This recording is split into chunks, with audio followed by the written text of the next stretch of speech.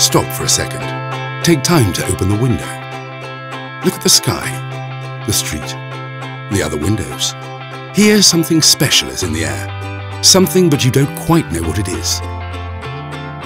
Some say it's the sun, others the sea.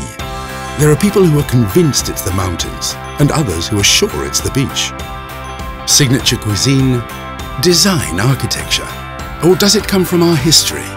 It may also be the people, their creativity or their good sense, or this culture of a job well done. Some talk of Gaudi, or of Miró. There are even some who say it's because of Messi.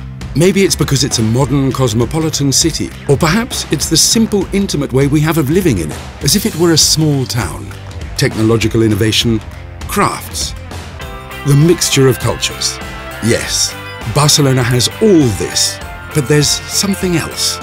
Something you feel every day, but that no one, not you, I, or anyone else knows what it is for sure. Barcelona, a capital that inspires,